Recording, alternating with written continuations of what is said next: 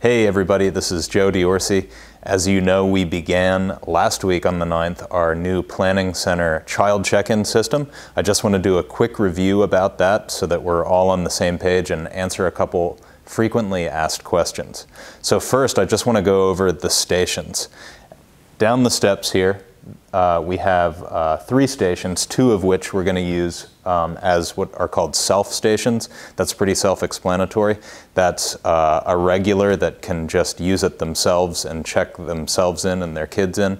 Um, that's probably where all you regulars are headed. Now, if you're bringing uh, a guest or a family of guests, um, right over here at the um, whatever this desk is called, uh, the welcome, the guest services desk. Uh, this is our guest services station, and this is a manned station, meaning a person will actually be there. And um, anyone that's new here or somewhat new here who has not filled out one of these forms and thus is not in our people database uh, will fill this out. Simultaneously, someone will check their kids in, print their labels out, and then the next time they come to Praise, they'll walk down the steps to our self stations because they'll be in.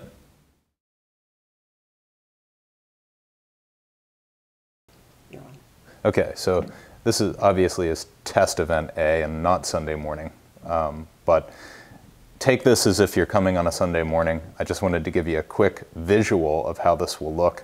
Um, you're going to put your phone number in. So I'm going to put mine in to sign my kids in. It identifies my household as the Diorsi household, with it, which is correct. I am going to, if everything looks good right now, Evie's in Babyboro, Jude's in Praiseland, which they are, um, I can just select over here in the left-hand column and, and check them in. But just to show you how this works, I'm going to click on this large space just to check things. Um, sometimes right here there will be an option for diaper bag. I can check that if I want a sticker for Evie's diaper bag, which I've done in the past. Um, but I don't have that option on here for just this test event. Um, so I'm going to click in Jude's. Everything looks good. Go back. Uh, they have their bags. I'm going to check them in. This is how easy it is. Uh, as you can see right here, I'm checking in as Adrian Diorsi, which is not correct. So I'm going to check in as Joe, and I'm ready. Sometimes it takes a moment for these labels to spit out.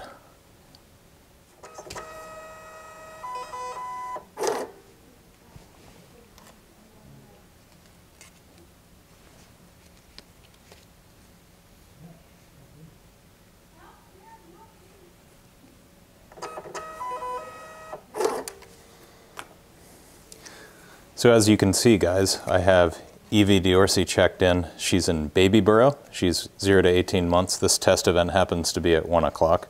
Um, I'm the one that signed her in, and here is my phone number in case the classroom teachers have to reach her.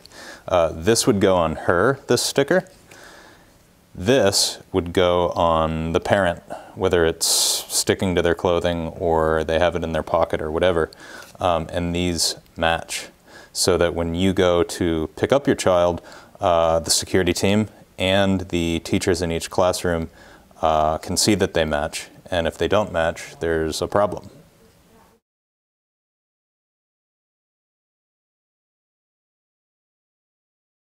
We would prefer that you do that. Come to the lobby first to check them in, get your labels, then head back up the stairs uh, to those three classes. Now, eventually, uh, our plan is to have a station actually and a printer down at the T in the hallway uh, to kind of clear that up and make it more convenient for uh, parents of those three classes.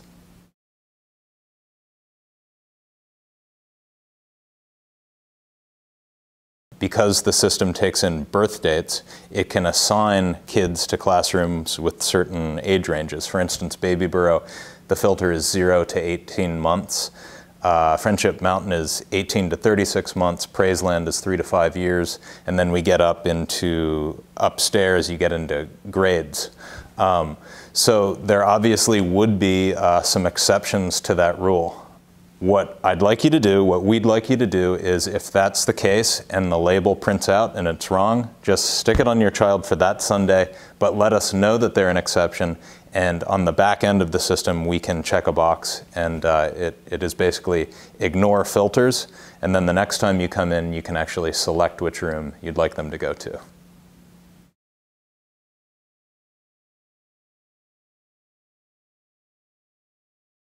So another question was uh, if your child is crying or misbehaving or something of that nature, we used to have uh, those little screens with the digits in our sanctuary. We still do actually.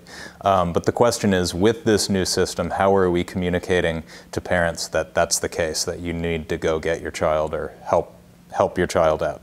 Uh, the answer is, um, we're going to try for the time being and see how it works. It's kind of like a piloting thing. Um, since uh, I signed Evie in and uh, my cell phone is here at the bottom because I signed her in, if, if uh, Adrian signed her in, her phone number would be on the bottom. Um, let's say Evie is crying and having a fit and they just need to reach me. Uh, the leaders in Babyboro would simply text me, hey, we need you to come and get Evie. So this might change in the future. Uh, we're going to pilot this. We're going to see how it works. So bear with us, please.